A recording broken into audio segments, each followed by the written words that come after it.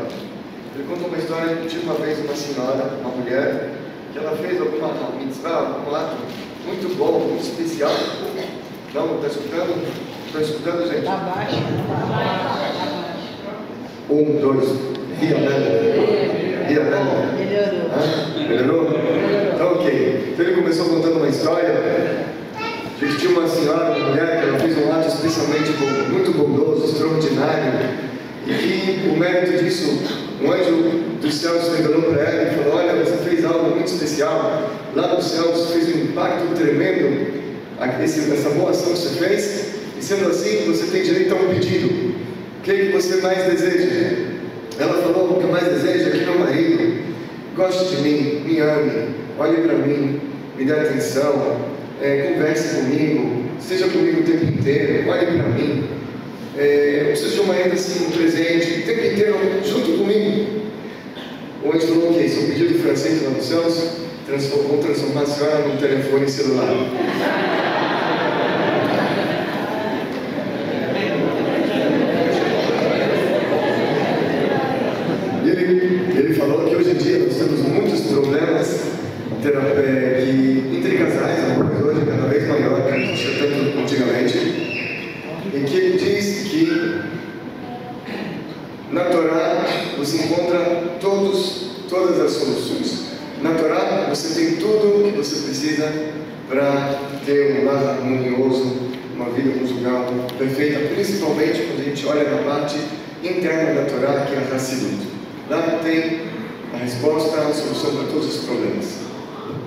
עברו אצלי הרבה זוגות בארץ ישראל שבאו לקבל הדרכה ובאו לקבל ייעוץ זוגי וחקרתי את העניין לעומק, לבדוק באמת מה הבעיות של אנשים ומה באמת גורם להם להתגרש וגיליתי דבר מדהים, אנשים מתגרשים מאותה סיבה שהם מתחתנים אותו דבר שגורם להם להתחתן, גורם lהם להתגרש. מה הכוונה?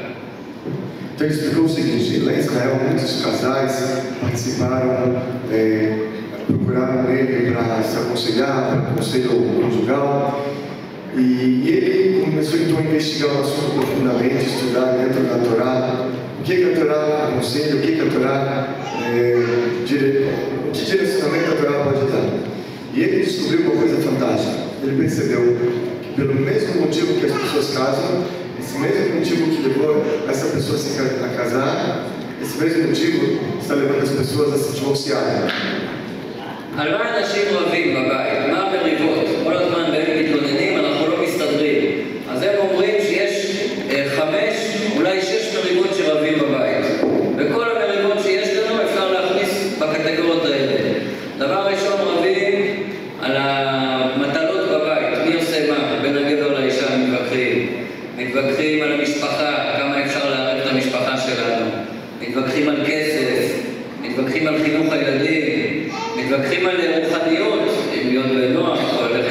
ללכת לכנסייה, או לבית כנסת, וגם קצת מתווכחים על אהבה. אבל נראה שאהבה זה לא הבעיה בדרך כלל, הבעיה היא איך פותרים את חילוקי הדעות שיש בינינו, ונלמד היום שיטה מאוד פשוטה איך פותרים את זה. אוקיי, então ele diz o seguinte, que nessa pesquisa que ele fez, ele conseguiu classificar normalmente os problemas que chegam até ele em seis, seis problemas principais, seis assuntos principais que você pode categorizar essa, esses seis assuntos. Primeiro assunto que normalmente os casais brigam são sobre tarefas de casa. Quem vai, quem as crianças, quem vai botar para dormir, quem vai dar banho, quem vai lavar louça, ou quem vai tirar o lixo, ou quem isso, ou quem aquilo. Então, esses são os problemas que normalmente é, acontecem. Quem vai, enfim, quem é responsável por cada ação dentro de casa. Outra coisa que normalmente eles discutem é que no relativo são a educação das crianças. Vezes o marido é mais liberal, a mãe é mais durona, ao contrário, a mãe não gosta que o marido, enfim, está tá dando bala depois que a mãe falou para não dar. Enfim, eles discutem bastante sobre a, a educação das crianças. Outra, outra coisa que eles discutem são merentes afim, dinheiro. Então o marido traz dinheiro, a mulher gasta. Ou a mulher, ou, às vezes ao contrário também. O marido não traz dinheiro e assim por diante. Então, você tem matalota, rio relativo, xafim, você tem é, a família. Também existe muita discussão de família. Tem muitas vezes a mãe, a sogra, a cunhada, então um defende o outro, tem problema da família. É, tem um problema também de amor. Uns falam, a gente não, ela não me ama, ela não mas esse normalmente não é o principal problema.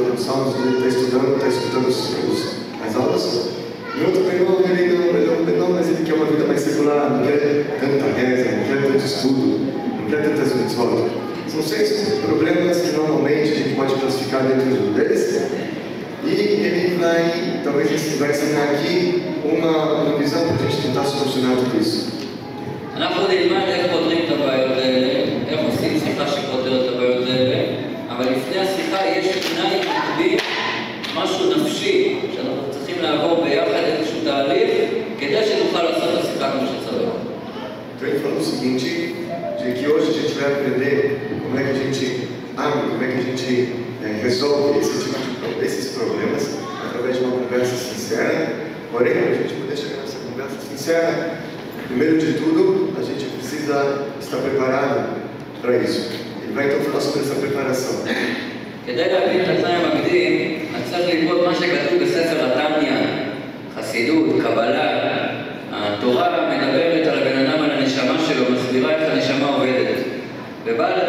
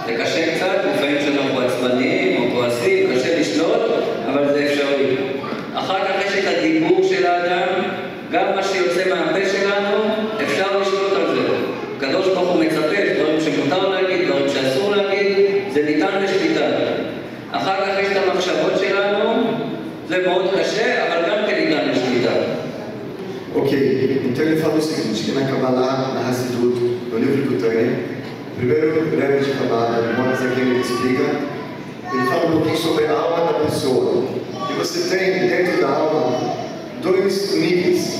O primeiro nível é o nível prático e pragmático, onde a pessoa ela consegue é, interromper, ela consegue segurar, ela consegue se controlar. Então, por exemplo, a ação. A ação, a pessoa ela pode agir da maneira como ela quiser. Ela, ela pode, ela tem controle total sobre os atos dela. Ela pode, ela consegue somente fazer e agir aquilo que ela quer. Ela não é obrigada fazer algo contra a vontade dela. Ela tem controle total sobre as ações. Um nível um pouquinho mais profundo, an- antes das ações você tem a fala. A fala é a mesma coisa. A pessoa ela tem controle total sobre a fala dela. Ela pode falar o que ela quiser. Ela não é obrigada a falar o que ela não quer. Ela tem controle total sobre sua fala. E um nível um pouquinho mais elevado é o pensamento. É um pouquinho mais difícil, mas a gente também tem controle total sobre os nossos pensamentos. Você, você consegue decidir o que, que você quer pensar. Você não é um escravo do seu pensamento. O pensamento é um escravo do seu sentimento. Você tem controle sobre o seu pensamento totalmente. אחר כך, למעלה מהמחשבות, יש לנו את הרגשות, את ה-emotions. זה קצת יותר קשה, אבל גם ברגשות אפשר לשלוט. והעובדה שהתורה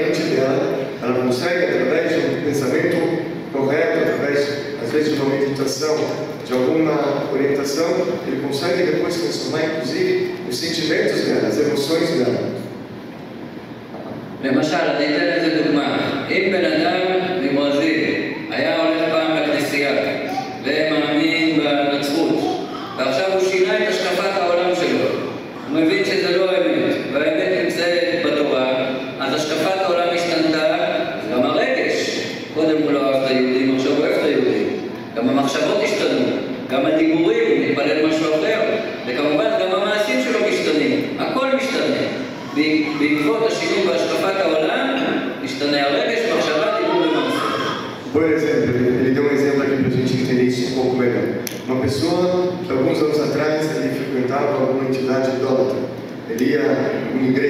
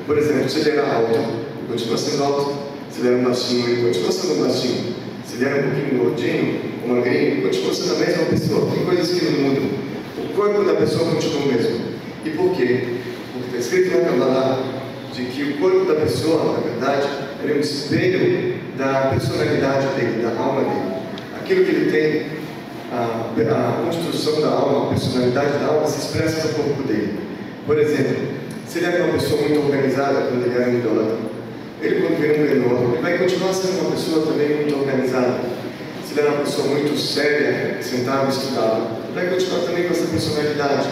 Se ele era uma pessoa que gostava muito de fazer palhaçada, ou gostava muito de fazer falar fofocas, ele não vai mudar essas coisas quando essas personalidades essa personalidade quando ele vira um menor. Isso é uma coisa que não muda.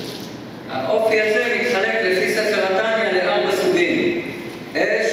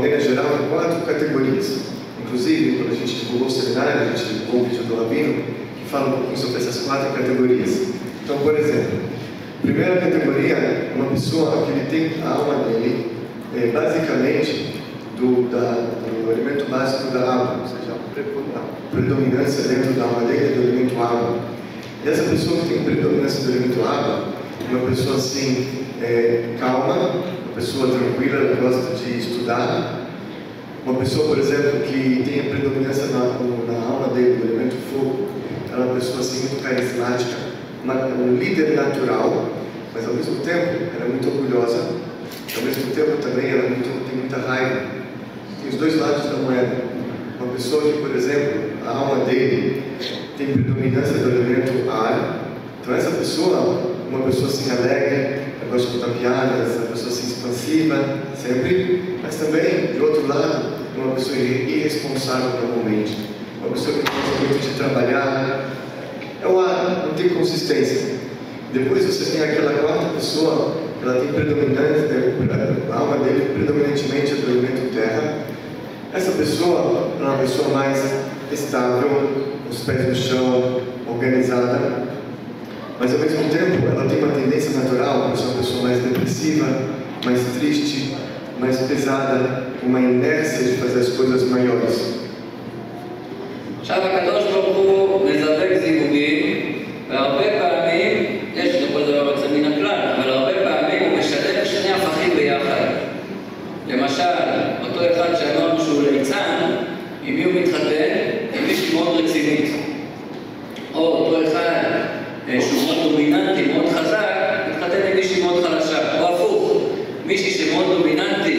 דומיננטית, טמפרמנטית, בדרך כלל מתחתנת עם גבר שקט כזה שלא עושה לה בעיות, לא עושה לה רעש.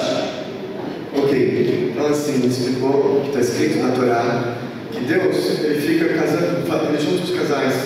Não foi você que escolheu sua esposa, você acha que sua esposa que te escolheu? Não. Deus colocou vocês juntos em alguma situação, fez com que ele ou ela achasse graça aos seus olhos.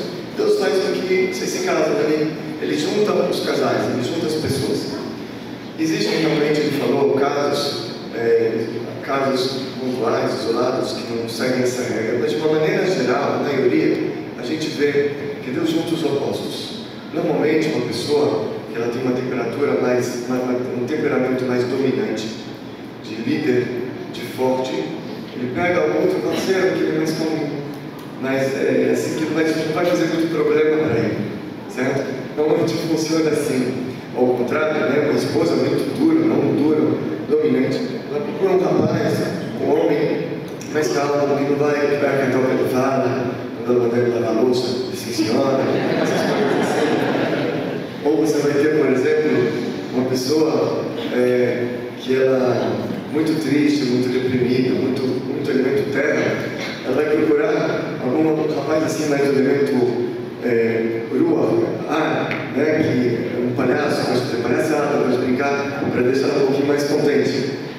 Deus junta opostos. למה באמת מתחתנים עם הפכים? כי אם ניתן לשני אנשים דומיננטיים להיפגש ביחד, כבר מהפגישה הראשונה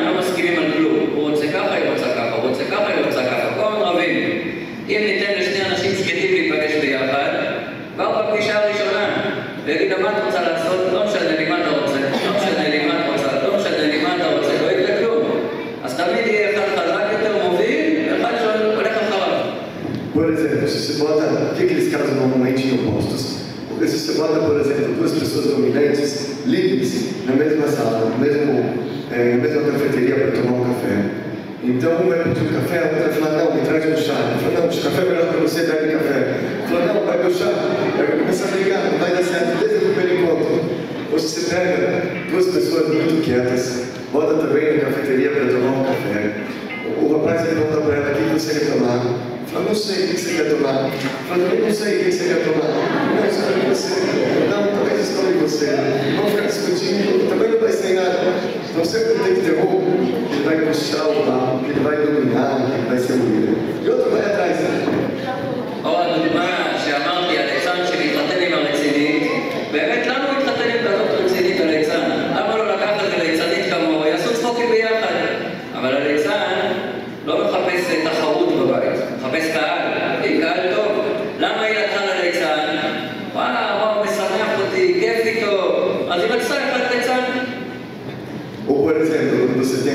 palhaço, por elemento ah, ele todo dia fica fazendo palhaçada, conta piada, ele faz algumas, alguns truques.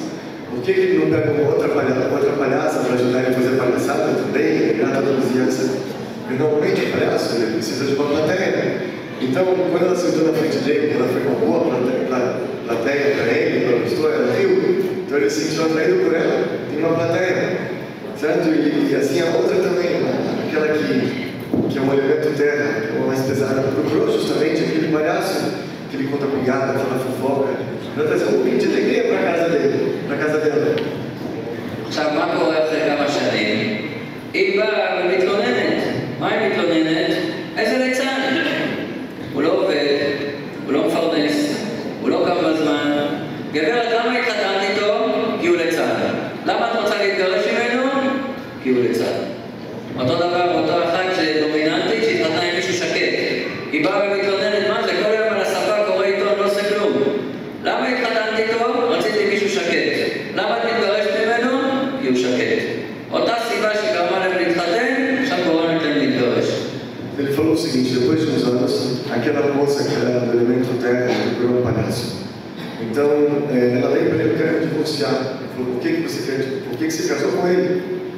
casei com ele porque ele era palhaço, fazia alegre, né? deixava a casa alegre.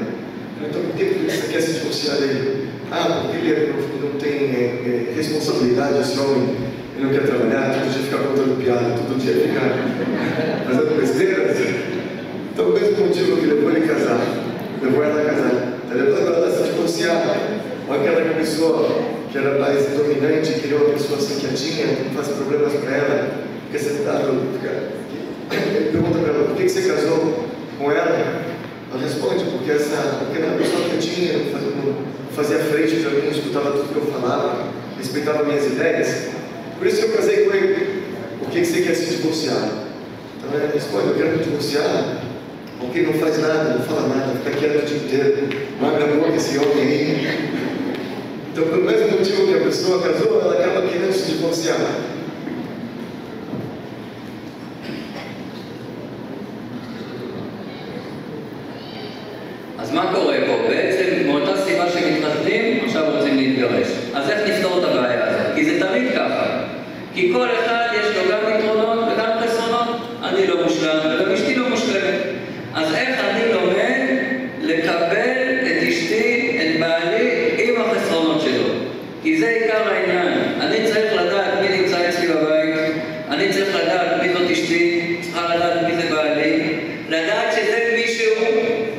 ההתנהגות יכולה להשתנות, הדיבור יכול להשתנות, המחשבות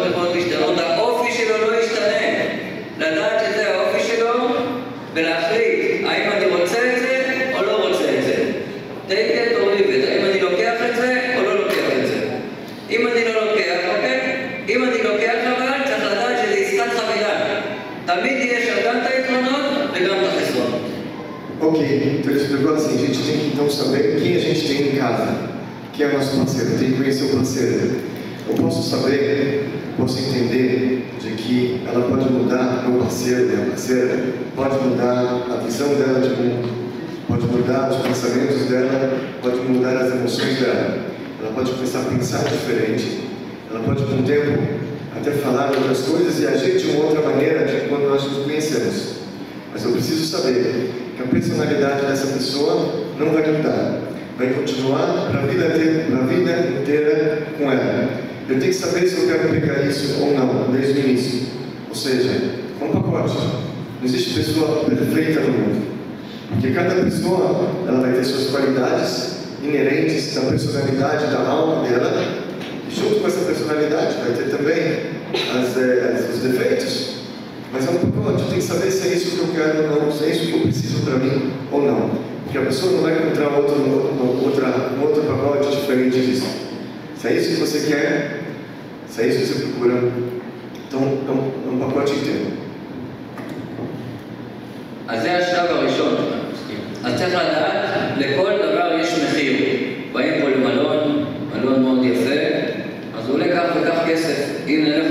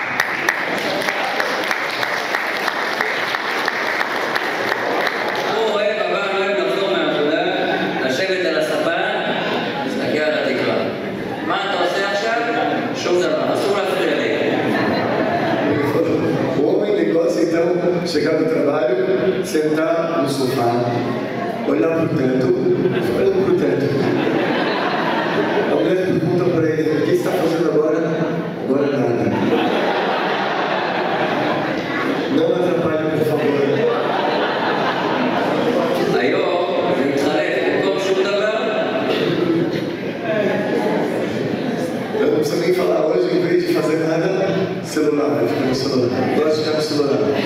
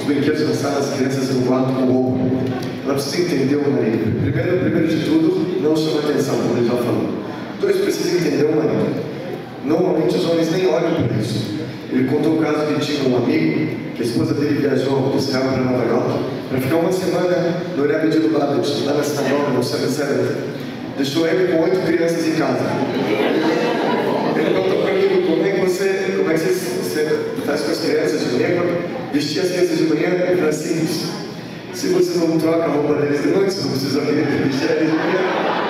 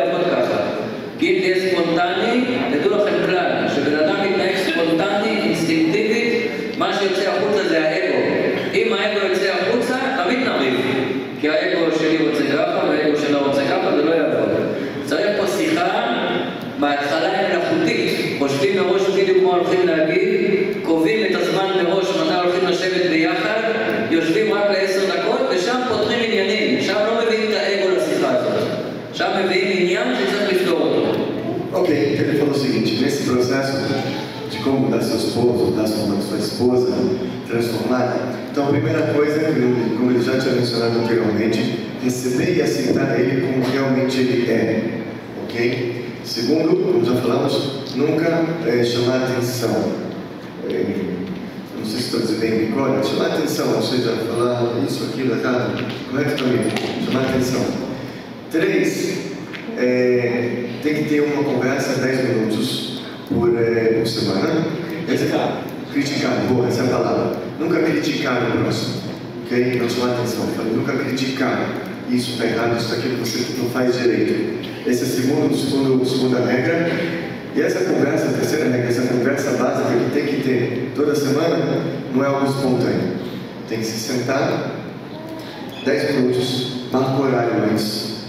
Não é uma conversa espontânea quando está jantando, quando está almoçando. Porque normalmente não está jantando, almoçando, quando é espontâneo, então o ego ele sai sozinho e aí quando o ego sai não funciona. É uma conversa fabricada, uma conversa você pode preparar os pontos que você quer falar antes, anteriormente, falar, olha, tem esse ponto, esse ponto e esse ponto que eu quero transmitir para você. Fabricado, começa fabricado. אחרי de בכל שיחה מותר לדבר רק על בעיה אחת. אם אנחנו נדבר על כמה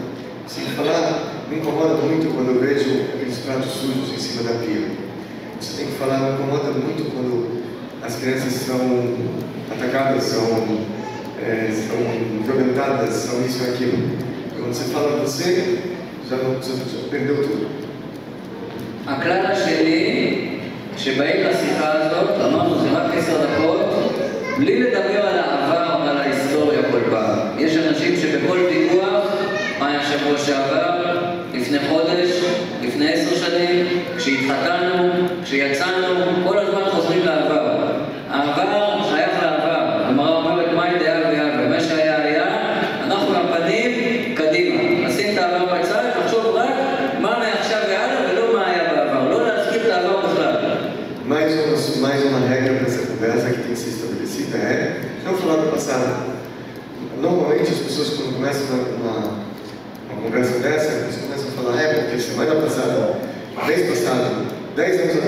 Você me conheceu há 25 anos atrás.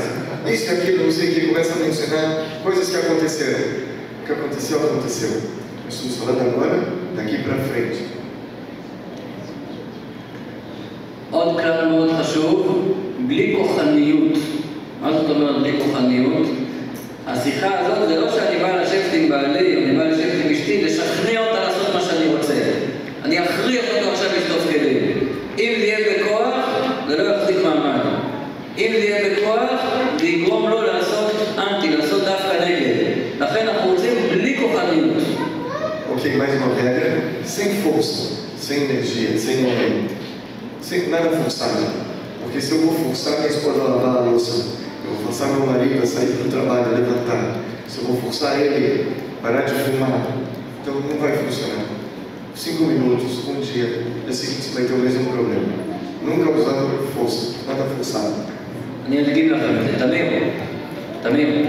Vamos lá. É.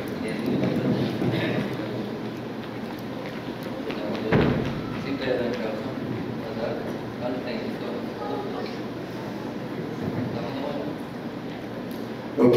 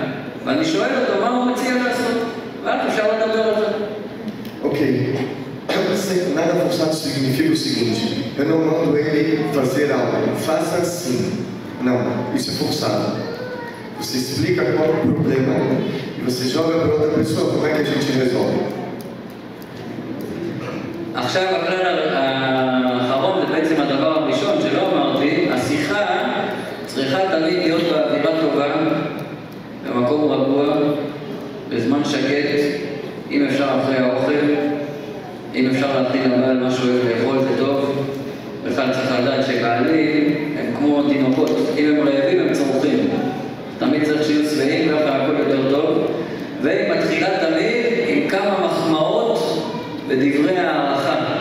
תודה רבה על זה, כל הכבוד על זה, ככה מתחילים כדי לרכך את האווירה. Ok. E a última regra é o seguinte: é, essa conversa ela tem que acontecer em algum local quieto, algum lugar onde as crianças barulho, um lugar mais quieto, mais reservado. Se for, por exemplo, depois da janta, é importante que a esposa prepare para o marido alguma comida que ela gosta, que gosta de comer. As mulheres precisam saber que, uma, que homens são bem crianças. Quando estão com fome, eles gritam e choram.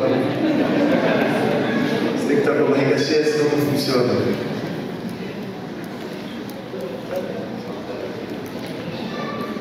Mais uma coisa que eu esqueci de traduzir, lembrou? E sempre começar essa conversa com elogios. Puxa vida, você tão, faz tão. Pessoa, você faz tanta. coisas boas, você é uma pessoa excepcional, você encontrar coisas verdadeiras que ele faz, o que ela faz, e elogiar. Depois pode começar essa conversa.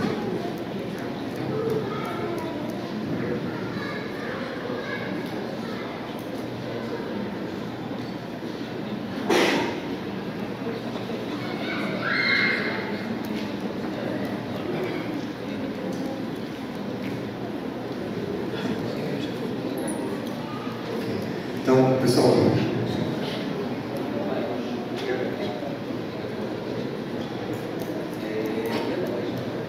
ok, então vamos fazer o seguinte, vamos pedir dois voluntários para vir aqui, um homem e uma mulher. Quem pode se voluntariar, por favor? Jorge, vem. Quem aqui levantou a mão? Uma senhora, uma mulher?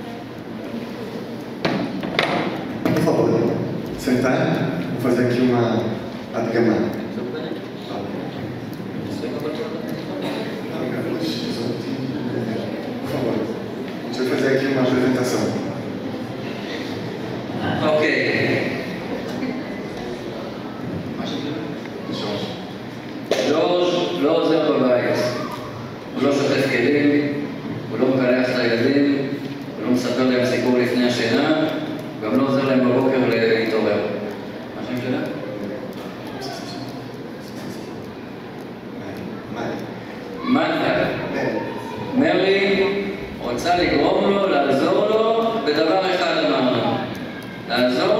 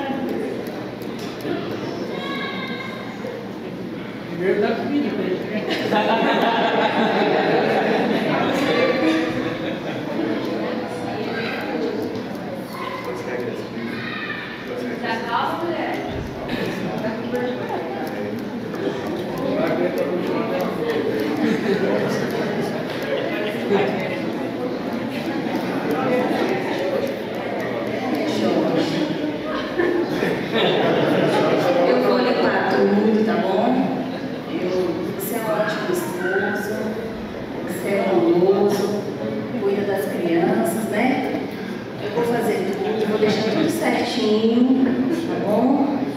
É... Só me incomoda o fato de que eu chego do trabalho cansada e tem as coisas para fazer.